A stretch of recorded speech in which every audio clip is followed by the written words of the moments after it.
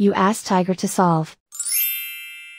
This deals with linear equations with one unknown. The final result is x equals 20. Let's solve it step by step. Simplify the expression. Group like terms. Multiply the coefficients.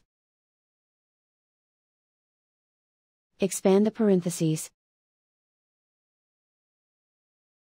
Simplify the arithmetic.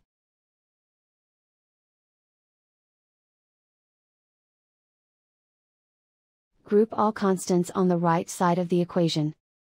Add 17 to both sides. Simplify the arithmetic.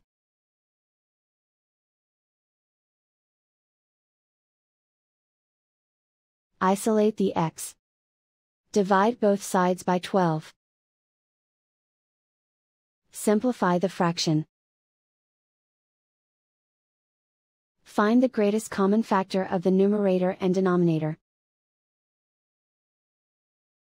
Factor out and cancel the greatest common factor. And so the final result is x equals 20.